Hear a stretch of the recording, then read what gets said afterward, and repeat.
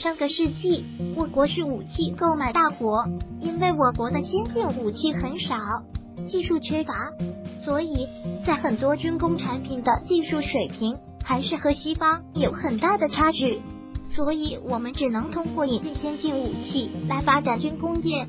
但是美俄两国对我国实行了武器封锁，不允许任何国家卖武器给我们。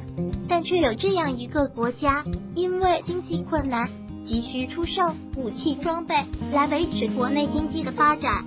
就算是面对美俄这样超级大国的威胁，还是和我国暗地里达成了协议。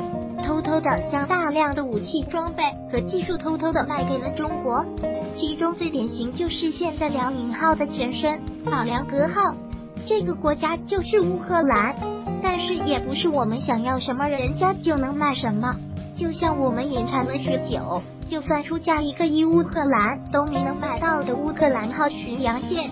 乌克兰号导弹巡洋舰，一九八四年开工，一九九零年能够服航，完成百分之九十六后停工。它是一九九八年依据荣耀级罗多夫海军上将号导弹巡洋舰改名而来。强大的攻击才能使其享有航母杀手的佳誉。最初由乌克兰和俄国共同建造，但是由于苏联解体，导致乌克兰号的建造已经完成百分之九十六的情况下。依旧被迫终止了。当时我国抓住了机会，向乌克兰出价一亿美金购买。经济窘迫的乌克兰当然心动不已，但是后来由于美俄两国的干涉，交易最后没能成功。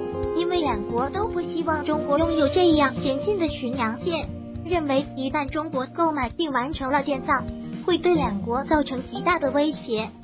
如今乌克兰非常后悔莫及。据媒体报道。乌克兰总统于今年三月签署了法令，将对这艘超过二十年的乌克兰号巡洋舰进行拆解处理。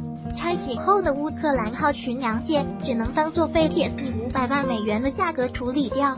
如果当时能卖给中国，乌克兰不仅会得到一大笔资金，或许我国现在的主力战舰就是乌克兰号巡洋舰了。